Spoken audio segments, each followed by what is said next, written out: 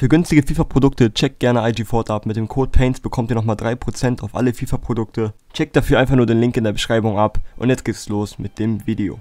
Okay Leute, bevor das wirkliche Video beginnt, jetzt gleich werdet ihr nicht mehr meine Stimme hören, heute mal ein Gast-Commentary, das erste Mal sowas auf meinem Channel. Und ja, ist mir direkt eine Serie eingefallen, ich habe Bock auf sowas. Der liebe Cardsox hat mir einfach mal auf Twitter geschrieben, wir kannten uns nicht, ob wir mal zusammen ein Video aufnehmen können. Und da ist mir auch egal, ob ihr 0 Abonnenten habt oder 10 oder 20, wenn ihr Ahnung ein bisschen vom Trading habt, können wir sehr gerne was aufnehmen. Und dann dachte ich mir, komm, habe ich ihn einfach mal gefragt, ob er alleine was aufnehmen will und es auf, mein Comment, äh, auf meinen Channel hochladen will. Da hat er zugestimmt, hat jetzt ein Flipping-Video aufgenommen. Er kann Flipping so gut. Dachte, ich bin ganz okay im Flipping, aber gegen ihn bin ich noch scheiße im Flipping. Also checkt das Video ab, hört genau hin. Es ist sein erstes Commentary, glaube ich, überhaupt gewesen, so was YouTube angeht. Deswegen, wenn da oder hier mal ein kleiner Fehler ist oder so, seid korrekt.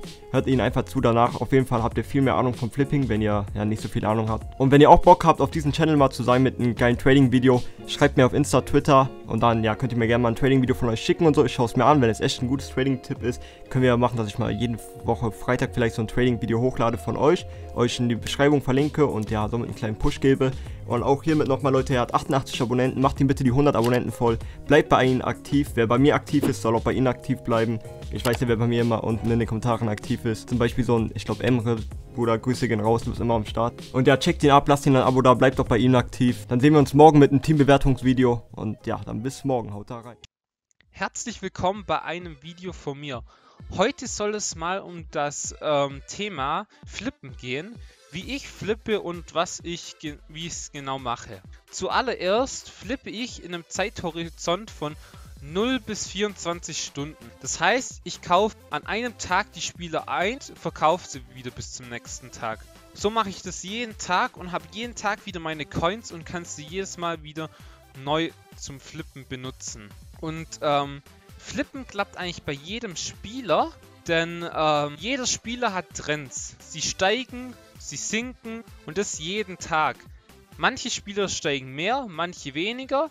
Zum Beispiel bevorzuge ich Spieler, die nicht mehr in Packs sind, da die dann halt nicht mehr zu ziehen sind und dann auch seltener gibt.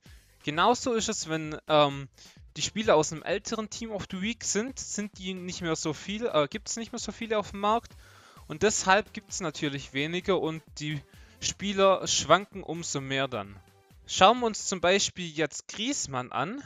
Griesmann, ähm, zwar gehen wir hier auf 480k Sammer, also man konnte ihn um 10 Uhr oder 11 Uhr für 480k verkaufen. Ich hatte ihn sogar selber, glaub, habe ihn für 485k verkauft, also man muss beachten, dass natürlich die Graphen nicht genau sind. Also wenn ein Spieler verkauft wird für 480k, wenn es dort steht, dann kann es auch sein, dass welche mit 485k verkauft werden, denn ähm, Foodbin nimmt ja immer nur der durchschnittliche Wert in einer Stunde.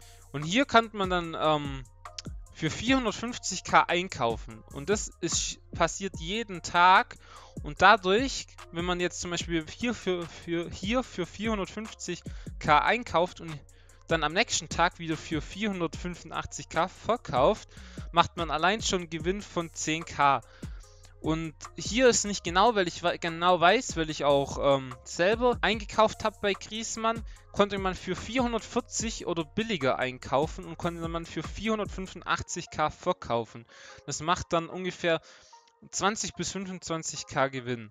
Schauen wir gestern nochmal rein, vielleicht da ist da ein bisschen deutlicher. Genau, für 440k konnte man einkaufen und dann für 480 plus verkaufen. Und das klappt sozusagen mit jeder Karte, wie ich schon gesagt habe. Mit zum Beispiel Griesmann klappt es ziemlich gut, aber zum Anfang, wenn ihr es anfangen wollt, würde ich eher kleinere Spieler nehmen. Wie zum Beispiel Davinson Sanchez zum Beispiel. Können wir auch uns noch anschauen. Ähm, er liegt jetzt bei 91k. Er war heute bei 85k. Konnte man direkt wieder für 93k verkaufen. Ich habe meine für, ähm, hier zum Beispiel für 95k, kann man wieder für 86k einkaufen, macht man pro Karte immer 5k Gewinn. Ähm, also abzüglich der Steuern. Ja, ich würde so sagen, man sollte ungefähr 10% pro Karte mehr dann verkaufen, dass man so 5% pro Karte ähm, Gewinn macht. Also wenn man zum Beispiel ähm, 2 Millionen K mit 2 Millionen K flippt, sollte man schon über 100k dann am Schluss rauskriegen. Sonst ist das, sagen wir mal, nicht, nicht wirklich gut. Also da müsste man sich vielleicht mal andere Spiele anschauen. Außerdem kann man natürlich auch auf jede Karte bieten und die noch billiger, um die noch billiger zu bekommen. So, jetzt zeige ich kurz mal, welche Karten ich geflippt habe gestern Nacht oder über heute Morgen. Und zwar Gea, Modric, Lewandowski, Silva. Ja, überall über 5%. Hier bei Sergio Busquets hatte ich weniger. Es liegt auch daran, dass er nicht so spielbar ist. Dann Reus ha habe ich für 114k erboten. Werden dann, glaube ich, 10k gewinnen. Ich hätte, man hätte ihn auch für 135k, glaube verkaufen können. Hier Matuidi für unter 130, glaube bekommen. Walker für 180 bekommen. Einer für 175, glaube Dort sind noch mehrere. Sanchez ähm, für 93, für 94,5 habe ich alle für 85k bekommen. Also auf jeden Fall 5k plus Gewinn. Quadrado bis 70k habe ich den mitgenommen. Und ja, Sanchez hatten wir schon. Walker jetzt noch für 197k verkauft. Ja, ich habe, glaub, ähm, 3 Millionen investiert, nicht ganz. Habe auf jeden Fall 150k ähm, rausbekommen. Ist auf jeden Fall nicht schlecht. Ich kann euch kurz mal zeigen, mein Transferlös. Ich habe 0 FIFA Points ähm, gekauft und bin jetzt bei einem Transferlös von... Eine Woche habe ich jetzt 2,5 glaube von 15,2. Lässt sich auf jeden Fall sehen. Habe auch keinen einzigen guten Spieler gepackt. Der beste war 50k wert. Also falls ihr denkt, ich habe schon 10 Icons gepackt. Ja, dann würde ich sagen, war es mit dem Video. Ich hoffe, es hat euch was gebracht. Falls ihr Fragen habt, könnt ihr mich ja gerne anschreiben. Haut rein.